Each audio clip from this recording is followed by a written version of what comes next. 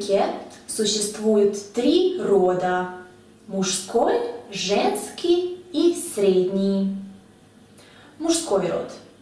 Большинство существительных мужского рода оканчиваются на согласный, как поезд, стол, мост, врач. На «е», как музей, сценарий. На мягкий знак, как день или воспитатель.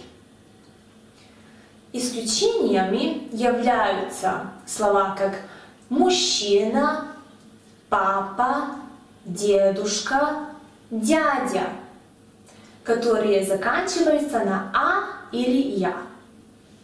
Еще исключением являются сокращенные мужские имена. Например, имя Александр, сокращенное имя будет Саша. Или Владимир, Володя или Вова. Михаил как Миша. И еще исключение – это слово «кофе», которое заканчивается на букву «е». А теперь поговорим о женском роде.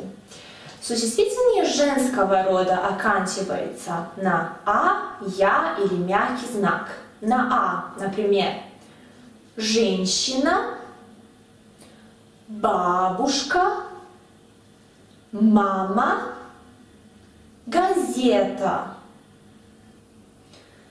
Следующее окончание – это окончание «я», как, например, семья или кухня, кухня.